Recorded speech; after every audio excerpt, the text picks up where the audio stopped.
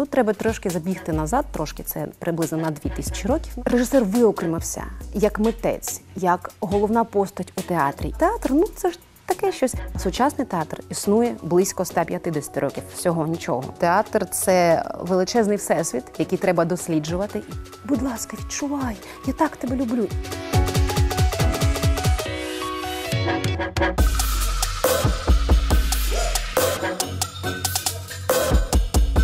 Ольга Донік, театрознавиця, акторка.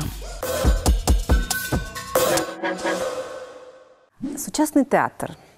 Е, Що це? Якщо повинна я була би описати сучасний театр двома словами, то я би сказала, що він дуже різний. Сучасний театр пережив е, багато цікавих подій, але їх можна згрупувати на три великі революції. Це досить умовне таке поділення, бо інші якісь театральні критики або театрознавці можуть зі мною не погодитися, і вони будуть абсолютно праві.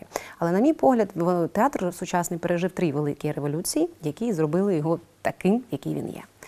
І перша з них революція сталася наприкінці 19 століття, на початку 20-го. Тут треба трошки забігти назад, трошки це приблизно на 2000 років назад, і поговорити про те, що датою виникнення театру вважається 534 рік до нашої ери, антична Греція. Саме там була зіграна перша вистава, як вважається дослідниками, і з того моменту ведеться відлік світового театру. Всі ці більше ніж 2000 років театр знаходився у прямій залежності від літератури. Тобто він не був самостійним і не вважався самостійним. Він постійно був підпорядкований драматургії, літературі. І якщо ви відкриєте будь-який підручник з історії театру і почнете його гортати, ви побачите, що до 19 століття, до навіть другої половини 19 століття, вся історія театру викладається як історія драматургів. Тобто великі такі тексти написані про те, які були п'єси, хто їх писав, біографії цих драматургів і так далі. І досить короткі, маленькі абзацики приділені тому, що були за театри, як було влаштоване театральне дійство і так далі. Це не випадково, бо більше ніж 2000 років театр вважався частиною літературного процесу, і глядачі приходили до театру, аби подивитися не те, як інтерпретований текст а просто подивитися, як оживає знайома для них історія, яку вони чули або читали. Більше того, Жодним чином ніякі інтерпретації не заохочувалися і не були потрібні. Глядачі цього не хотіли. Вони хотіли бачити, як оживає історія, як вона розгортається, і нічого іншого їм потрібно не було. І тому розвинення театру і його безумовно розвиток театру йшов. Про це треба теж казати, що театр постійно йшов до більшої психологічності, реальності і так далі. Але все одно він був підпорядкований літературі, і тільки на при кінці 19 століття театр починає усвідомлювати себе як самостійний вид мистецтва, і це стається в паралель із тим, що виникає професія режисера. Е, Саме так, режисер з'явився тільки наприкінці 19 століття як особистість, яка створює виставу. Ем, Ви можете спитати, а хто ж раніше ставив виставу? І тут вже можна сказати, що постановкою вистав займалися надособистісні сили. Зараз я поясню, що я маю на увазі. Існував певний канон, певні усталені норми і певна семантична система, яка і формувала власне виставу. Тобто, наприклад, якщо ми візьмемо театр епохи відродження у Англії, Шекспірівський театр, то навіть те, як там були розташовані декорації у театрі Глобус, вже давало глядачеві певну певне розуміння, що буде на сцені. Тобто, якщо там є балкончик, то значить це буде любовна історія і так далі. А якщо на сцену виносився зелений килим, то значить зараз когось вб'ють. Я не буду зупинятися на подробицях е, театру Шекспірівського. Це дуже цікава тема, але не зараз про це. Це про те, що режисера як такого, як одної цілісної одиниці для того, щоб створити виставу, не існувало до кінця 19 століття. Чому саме в цей час? Ну, напевно, тому що зрушення були в усіх сферах життя, і соціальних, і культурних, і тому режисер виокремився як митець, як головна постать у театрі і почав займатися інтерпретацією драми.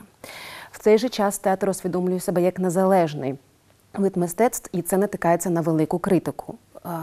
Багато людей не погоджували з тим, що театр має самостійне місце. Зараз це здається дивним, бо, наприклад, до музики таких претензій не було ніколи. Музика завжди вважалася самостійним видом мистецтва, її дуже поважали. А театр, ну це ж таке щось ближче до літератури, і тому ну чому його вважати якимось самостійним? Що він може взагалі?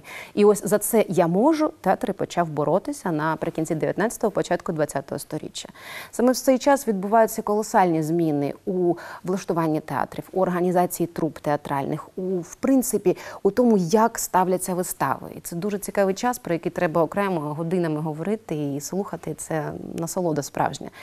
І якщо говорити про український театр і процес там, наприк- на- наприклад, у початку ХХ століття, то ми не можемо не сказати про видату постать Леся Курбаса, який створював причудові вистави, які йшли абсолютно в паралель і в ногу. Ну тобто були актуальні настільки з європейськими тенденціями, що мені здається, ми навіть зараз не дотяглися до тієї актуальності і тієї сміливості, з якою працював Лесь Курбас, і він був одним таким із перших і найвизначніших режисерів першої половини ХХ століття. Це абсолютно точно. І от ця перша революція, коли режисер стає головним, коли театр заявляє про себе як про незалежний вид мистецтва. Це мені здається така ключова точка, від якої ми і ведемо відлік сучасного театру. Тобто театр існував 2,5 тисячі років, і, а сучасний театр існує близько 150 років, всього нічого. І за ці 150 років він встиг змінитися до невпізнаваності. Ще хотіла зазначити, що на початку ХХ століття виникає театральна критика як незалежна академічна дисципліна. Раніше її не було, і бо не було предмету про що писати. Тобто театральна критика існувала, але це були якісь е, такі е, щоденникові записи або якісь замітки. Ну не дуже серйозна ґрунтовна література. І от театральна критика виникає у Німеччині, і напевно це не випадково, що Німеччина наразі, от на у 2020 році, є певним таким лідером світового театрального процесу, бо вони першими зрозуміли, напевно, е, що театр це величезний всесвіт, який треба досліджувати, і який треба досліджувати власними інструментами. не Тими, які є в літературі, не тими, які є, наприклад, в живописі, а от саме театральними інструментами, і тим вони займаються і наразі. Відхід від літератури ознаменував те, що режисери почали інтерпретувати драму. Тобто, е, беручи драматургію, драматичний матеріал, п'єсу, режисер аналізує її і видає власну оцінку цього матеріалу. На початку ХХ століття це ще були доволі е, обережні такі спроби, але потім процес почав наростати і. Планомірно, переходячи до другої революції сучасного театру, ми можемо говорити, що е, режисери ставали все сміливішими. Окремо треба зазначити, що і на початку ХХ століття виникає система епічного театру Бертольда Брехта.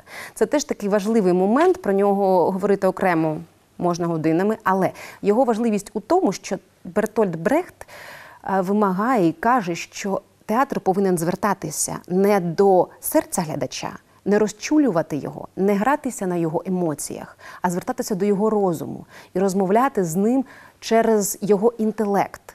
Брехт вважає, вважав, що театр має бути розумним, інтелектуальним. І мені здається, це дуже важлива думка, яка абсолютно ламає всю історію театру, яка була до того. Бо якщо знову ж таки подивитися підручники з історії театру, ми побачимо, що всі е, митці намагалися досягти психологічної достовірності. Вони намагалися зробити театр дуже схожим на життя, максимально схожим, так як вони розуміли, діючи в тих канонах історичних, які були наразі. І, звичайно, апофеозом, апогеєм, найвищою точкою такого психологічного театру ми вважаємо театр Станіславського та Неміровича Данченка. Про це теж багато чого написано. І от на зламі цього з'являється Брехт, який каже: ні, все не так. Давайте розмовляти з глядачем. Як з розумною людиною, бо в епоху індустріальної революції, коли машини заполонили усі сфери життя людини, не можна казати, будь ласка, відчувай, я так тебе люблю. Ні, ми повинні говорити з людиною як з інтелектуалами, звертатися до її розуму. І тоді ми про це буде най, найбільший ефект, який ми зможемо дати глядачеві. Ця концепція має місце на існуванні, і мені здається, вона, якщо проаналізувати історію театру, от від, від того моменту епіч, появи епічного театру до сьогодні, вона і до, до сьогодні має місце і м, інтерпретується. Це говорячи про першу революцію в театрі.